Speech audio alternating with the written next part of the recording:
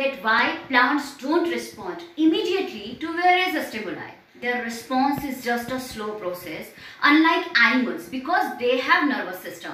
So this is really considerable that how do plant respond and why they slow. Now the functioning of control and coordination in plant is performed by the chemical substance called plant hormones or also known as phytohormones. Some of the terms like dormancy or breaking of dormancy you would know here. So what is dormancy? The dormancy means a resting or inactive condition in which all the metabolism activity stops. The seed of plant is inactive or dormant. So it has dormancy. So let's jump, jump upon the details of plant hormones in which you would know about the types and their functions. Welcome to EduFacts Do You Know.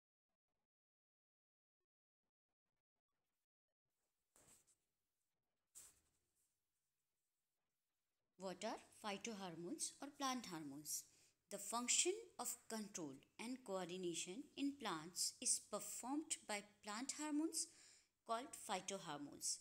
Phytohormones are the organic substances produced in small quantity which regulate growth, development and other physiological functions.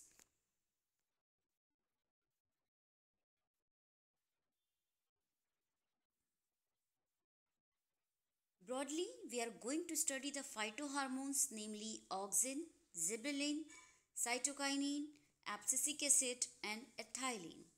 The first one, auxin and its functions. Auxin promotes cell growth. It promotes apical dominance and suppresses the growth of lateral buds unlike cytokinin which promote growth of lateral buds and check apical dominance. It prevents abscission or fall of leaves unlike ethylene which promotes leaf fall. It induces cell division in the area of injury and it also induces nodule formation in legumes. It induces parthenocarpy in many plants. It induces bending movement in plant. When growing plants detect light, auxin is synthesized at the shoot tip that helps cell to grow longer. When light is coming from one side of the plant, auxin diffuses towards the shady side of the shoot. The concentration of auxin stimulates the cell to grow longer on the side of shoot which is away from light. Thus the plant appears to bend towards the light. Types of auxin. Broadly we are classified it as synthetic auxin and natural auxin. Some of the examples of synthetic auxins are 2,4-D or 2,4-dichlorophenoxyacetic acid and 2,4,5-T that is trichlorophenoxyacetic acid.